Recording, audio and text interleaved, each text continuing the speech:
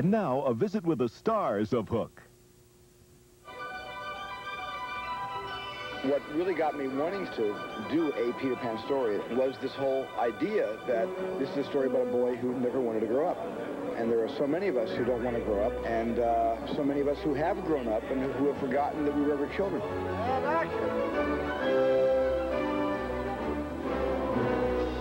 Director Steven Spielberg joins Dustin Hoffman, Robin Williams, Julia Roberts, and Bob Hoskins for the epic fantasy adventure, Hook.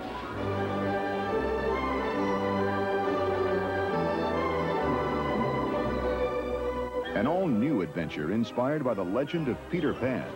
Hook is the story of Peter as a grown man, an ambitious lawyer with no memory of who he once was, and no time for his own family. Everybody just shut up! I'm sorry. And leave me alone for one moment more. Get him out of here, will you? I'm on the phone call of my life. Returning from a world long forgotten, Captain Hook kidnaps Peter's children, forcing him on a personal journey to Neverland to save his family and regain the imagination and spirit of Peter Pan. Peter, don't you know who you are? He's taken all that energy that went into Peter Pan and put it into business. He's like these guys who are just, you know, focused on one thing, the deal, the all-important thing. And he's, in the process, forgotten everything about his family, which is why, you know, this is part of his growth when he has to go back. Only you can save your children.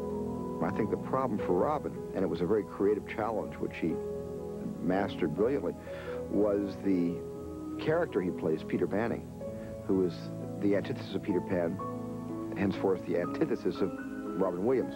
So well, he's playing this businessman. You can see inside his eyes that there is a, a sad little child that got lost along the way that needs some guidance because that little spark in the eyeballs of Peter Banning is Robin Williams waiting to come out, is Peter Pan waiting to come out.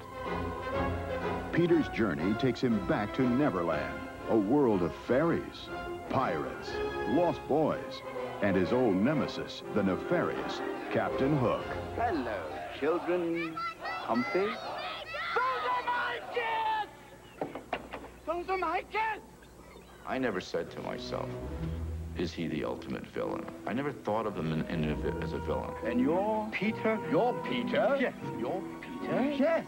No. Yes. You're Peter? Yes. Is there an echo in here? There's something admirable about Hook, and therefore dimensional, in that when he first sees Peter Pan, he doesn't want to kill him. Because there's no, there's nothing to fight. This is not youth and joy and innocence. This is not the person that, that took his hand and left. You're not even a shadow of Peter Pan. It's not fulfilling to kill Peter Pan. It's fulfilling to kill Peter Pan. We saw the drawings. We saw the way he looked. That's what he wants to kill. You promised people the war of the century. Your whole life has been building to this moment. Mortal combat, glory. One week and I'll get him in shape. And you can have your dirty old war. Two days. Tinkerbell is very feisty and sarcastic and uh, very much in love with Peter. I think it starts off as a selfish thing for her. She's very selfishly in love with Peter, and then it becomes a selfless thing. And uh, to love somebody that much is is to want their happiness. And you know, I mean, they're not going to have a relationship or anything. So I think she comes to terms with that. that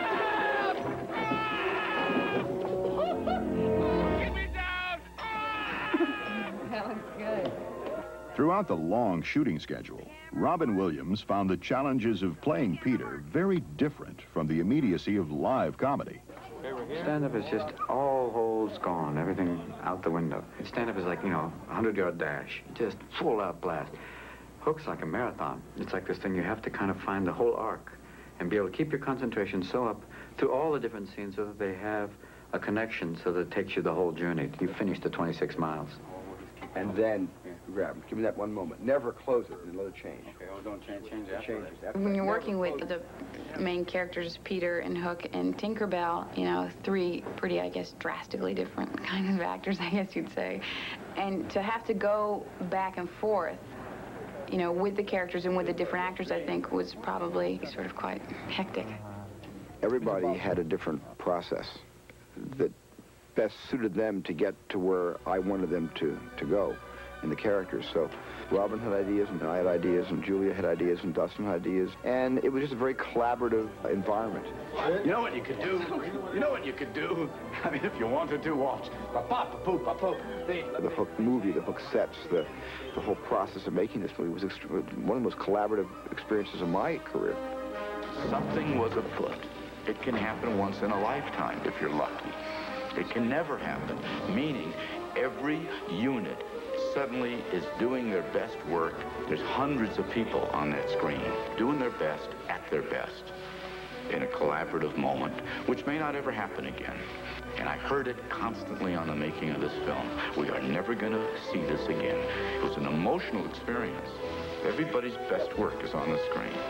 That's the most exciting thing about it.